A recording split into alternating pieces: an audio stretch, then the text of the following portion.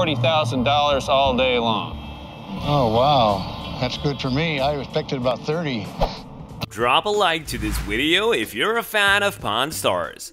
Hey there everyone, what's up and welcome back to another video on Film Top. Throughout the 17 seasons, Pawn Stars fans have observed Rick Harrison and his family run the gold and silver pawn shop in Las Vegas.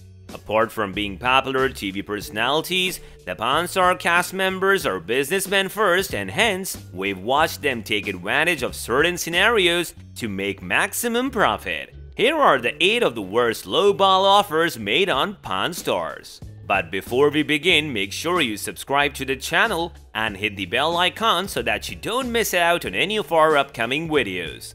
Alright, now let's begin. Number 8. Leroy's Painting In Season 14, a brilliantly colored painting originally created by Leroy Neiman was brought to the gold and silver pawn shop. Featuring Marilyn Monroe, the piece of art was called Happy Birthday President and the seller was seeking $6,000 for it. Corey called an expert in order to authenticate the painting and turns out, Leroy's painting could actually be worth up to $7,500. That said, Corey made an excuse that getting the artwork framed and hiring someone to sell it would cost him extra. So he was only willing to pay $2,500, which is insanely low. In the end, the seller got only $3,000, which is half of what the painting actually deserved.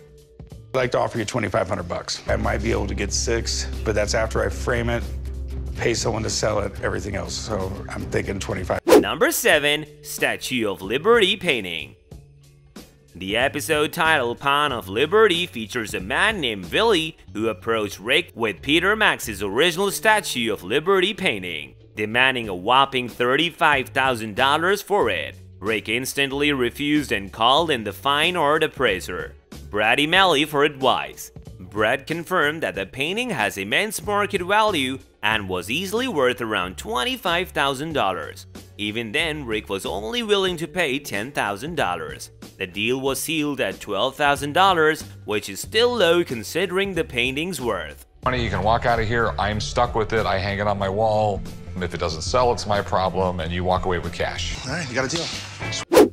Number 6. Batman and Joker Guitar Set Designed and built by John Bolin, an original Batman and Joker guitar set was brought to the pawn shop by a seller named Terry, who asked Corey for a straight $15,000. However, upon seeking the advice of his guitar expert at Cowtown Guitars, Jesse Amoroso, Corey only offered $7,500. Later, the owner of Bolin Guitars, John Bolin, himself arrived at the pawn store and confirmed the set to be authentic and worthy, but Corey refused to raise the offer. Terry was not ready to settle for less, and hence he left the store without making a deal.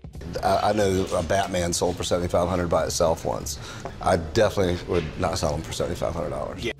Number 5. Signed Led Zeppelin Album When a customer named Robert brought in a signed Led Zeppelin album, no one expected that a simple conversation would turn into an argument. Rick's expert Steve Grad estimated the value of the album to be no more than $12,000, while Robert had made a demand of $22,000. Blaming Grad and saying that he was not an actual appraiser, Robert started an argument, after which Steve seemed quite offended. In the end, Rick made a final offer of $8,000, which was refused by Robert. and no, with all due respect, absolutely. You know, I understand you're a signature person. Yeah. You're not really a appraiser. Uh, no, I, I actually. Number four, 1842 Book of Mormon.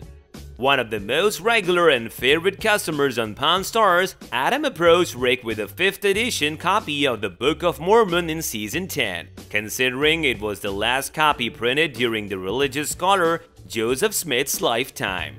The book was easily worth $40,000, according to Rick's expert Rebecca. Compared to the historic document's market value, Adam had only asked for $25,000 and even then Rick got him agreed to $24,000.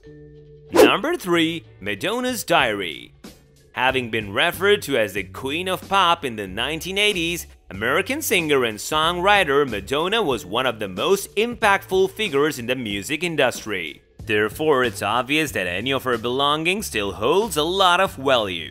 A seller arrived at the gold and silver pawn shop with Madonna's personal diary and planner from 1988, which included numbers of Hollywood celebrities and shoot dates. However, upon hearing a demand of $25,000, Corey's expressions of pure shock made little sense. Upon calling the expert Steve Grad, the seller was told that Madonna's diary would be bought for a maximum of $12,000. It was expected that Corey would make an offer around this range, but he was only ready to pay $4,000. The seller clearly told Corey how this offer was an insult to Madonna's fans. I'd give you like four grand for it. It's insulting, to be honest with you. It's worth a lot more than that. I'd go down to Number 2. Joe DiMaggio's Baseball In Season 1, a customer brought a 1951 baseball which was originally signed by the legendary baseball player Joe DiMaggio. The baseball's value was also higher because of the New York Yankees, for whom Joe played, had won the World Baseball Series that year. After authentication from an expert, the old man offered $800, whereas the customer who knew the actual worth of the baseball was demanding no less than $3,000. Therefore, when he saw that he was about to get scammed, the customer was compelled to walk out of the pawn shop. Number 1. 1890 Hotchkiss Cannon Shown in the television pilot of the series, this one was probably the first ever scam on Pawn Stars an 1890 Hotchkiss 2-pound cannon, which had great value due to its close link to the historic Battle of San Juan Hill, was offered to the Pawn Stars. Even though the expert at Gold and Silver Pawn Shop appraised the cannon for $40,000, the customer was paid $30,000 by the Harrisons. $40,000 all day long. Oh, wow. That's good for me. I expected about 30.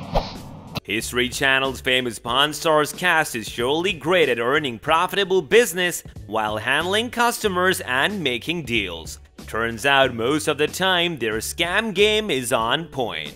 Well, this brings us to the end of our video. Hope you guys enjoyed it. If you haven't liked the video yet, so it's never too late, give it a thumbs up people. We will see you soon in another video. Until then, take care and goodbye.